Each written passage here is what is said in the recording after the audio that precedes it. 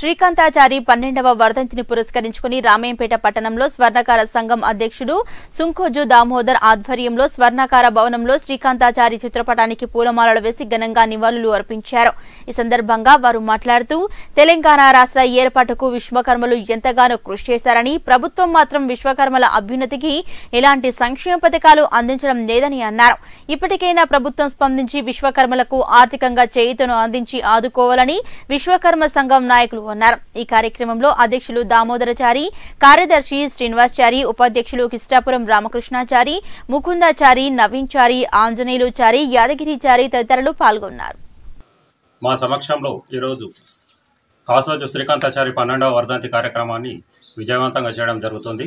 మరి అప్పుడు తెలంగాణ మల్లిదశ ఉద్యమంలో తెలంగాణ రెండు వేల తొమ్మిది డిసెంబర్ మన నవంబర్ ఇరవై ఎనిమిదిన కేసీఆర్ గారిని అరెస్టు చేసినందుకు నిరసనగా మరి కాసోజు శ్రీకాంతాచారి ఉస్మానియా యూనివర్సిటీలో తను తనకు తాను పెట్రోల్గా పెట్రోల్ పోసుకొని నిప్పంటించుకొని ఐదు రోజులు పోరా పోరాడి ఆ పోరాట పటిమలో కూడా ఒళ్ళంతా కాలినా కానీ తెలంగాణ గురించే మాట్లాడుకుంటూ ఐదు రోజులకు తన ప్రాణం డిసెంబర్ మూడున వదులుకోవడం జరిగింది. అట్టి సందర్భంలో మేము మరి ప్రతి సంవత్సరం మేము ఇదే విధంగా కాసు శ్రీకాంతాచారి గారిని మేము మేము వర్ధంతి కార్యక్రమం కానీ జయంతి కార్యక్రమాలు కానీ విజయవంతంగా చేసుకోవడం జరుగుతుంది. కానీ రాష్ట్ర ప్రభుత్వం ఇవాళ ఒకటే ఆలోచన చేయాలి.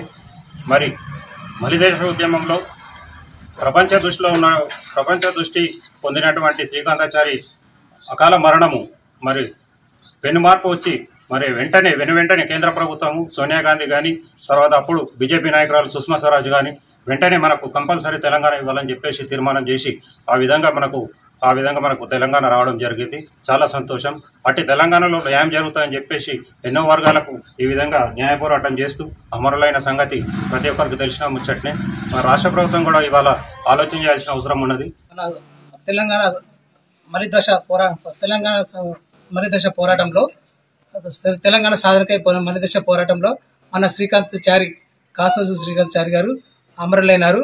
ఆ తర్వాత ఉద్యమానికి ఊపిరి పోసి తర్వాత నిండు శరీరాన్ని అగ్నికి ఆహుతి ఆహుతి చేసుకొని ప్రాణత్యాగం చేసి మన ఉద్యమానికి ఊపిరి పోసి స్వాతంత్ర తర్వాత తెలంగాణ రాష్ట్రం ఏర్పడడానికి ముఖ్య కారకుడైనాడు. తర్వాత ఈ తెలంగాణ స్వాతంత్ర ఉద్యమంలో మన విశ్వకర్మలు ఎంతగానో కృషి చేసినారు. వాళ్ళ వాళ్ళ ప్రాణాలు తెగించి పోరాటం చేసి తెలంగాణ సాధించడానికి సహకరించినారు. తర్వాత మన విశ్వకర్మలే కాకుండా తెలంగాణ ఉద్యమకర్త ఎవరు ప్రొఫెసర్ జయశంకర్ సార్ కూడా తెలంగాణ ఉద్యమానికి ఊపిరిపోసి తెలంగాణ రాష్ట్రం రావడానికి కృషి చేసినారు. ఇట్లా మన తెలంగాణ ఉద్యమంలో కీలక పాత్ర పోషించినట్టు మా విశ్వకర్మలు ఎంతగానో కృషి చేసినారు.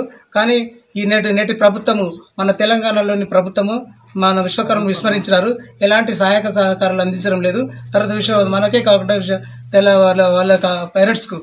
శ్రీకాంత్ వారి తల్లిదండ్రులు కూడా ఇలాంటి ఉత్సాహ ప్రోత్సాహం లేకుండా వాళ్ళను వెనుక వెనకడుగు వేసేటట్టుగా చేస్తూ చూస్తున్నారు. వాళ్ళని అభివృద్ధిని పరచకుండా ఆ గవర్నమెంట్ ఏమా ఏమాత్రం సహాయం చేసి చేయకుండా ఎవరెవరికో ఉద్యమంలో లేని వాళ్ళని మూలకున్న వాళ్ళని తీసుకొచ్చి ముందుకేసి వాళ్ళ వాళ్ళ వాళ్ళ పేరు పేరు ప్రఖ్యాతి గణించేటట్టు చేస్తున్నారు వాళ్ళని అభివృద్ధి చేస్తున్నారని.